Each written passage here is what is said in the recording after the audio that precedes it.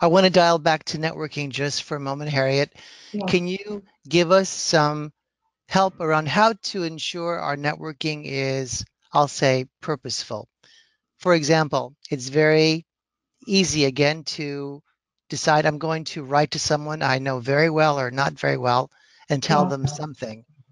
But then you want a conversation, uh, some kind of dialogue to ensue from there so that at the end of your unit of networking time with that particular individual, ideally you've achieved some kind of outcome that moves you forward. What advice would you have for our audience to engage in that purposeful networking that isn't simply about letting people know, hey, I'm looking for a job? Yes, yeah, so networking can have a different purpose. Um, as I mentioned before, it could be an article that you've read or whatever. Um, sometimes it's we have a shared connection. So think about the reciprocity. What can you give the other individual to create an interest in connecting with you?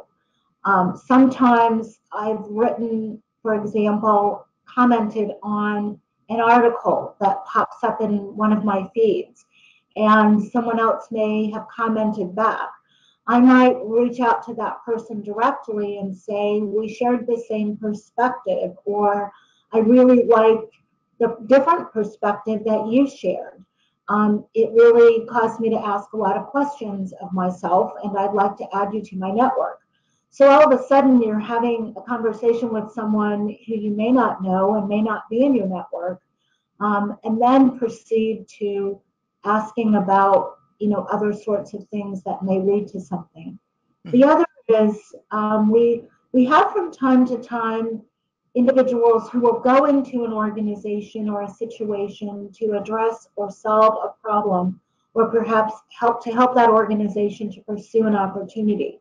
So yes, I'm talking about a short-term consulting engagement or that sort of thing. And in, there are times where that has led to an in-house role.